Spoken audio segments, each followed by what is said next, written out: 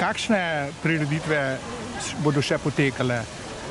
Je zdaj celo poletje, ki je v glavnem v termah Snovik namenjeno družinam. Družine so poleti naša prva ciljna skupina.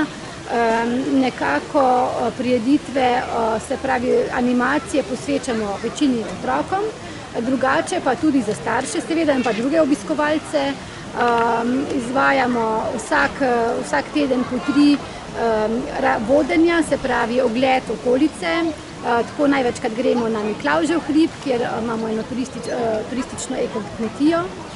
Potem gremo do izvira termalne vode in kot nov produkt je letos tematska bosonoga pot, tri cela dva kilometra dolga. Lahko se podate po njej bosi, in zraven uporabite še elemente, ker je speljana ob že obstoječi Snovičkovi poti, na kateri je veliko elementov, kjer se lahko razgibate. In če še združite to z bosonogo hojo, ki je zelo zdrava, ste že tako zmagali.